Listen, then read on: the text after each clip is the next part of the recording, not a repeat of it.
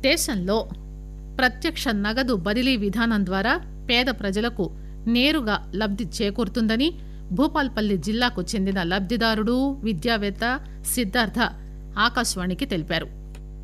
దేశంలో ప్రత్యక్ష నగదు బదిలీ విధానం పేద ప్రజలకు నేరుగా లబ్ధి చేకూరుతా ఉన్నది. ప్రభుత్వం నుంచి వచ్చే రకరకాల రాయితీలు కావచ్చు సబ్సిడీ అమౌంట్ కావచ్చు నేరుగా లబ్ధిదారులు చేరడం వల్ల పేద ప్రజలకు ముఖ్యంగా గ్రామీణ ప్రాంతాల ప్రజలకు కూడా ప్రభుత్వాలపై విశ్వాసం పెరిగింది. ప్రభుత్వాలు ఇచ్చినటువంటి బెనిఫిట్ నేరుగా చేరడంతో మాక్సిమం గవర్నెన్స్ మినిమం గవర్నమెంట్తో లబ్ధి చేకూరుతా ఉన్నది.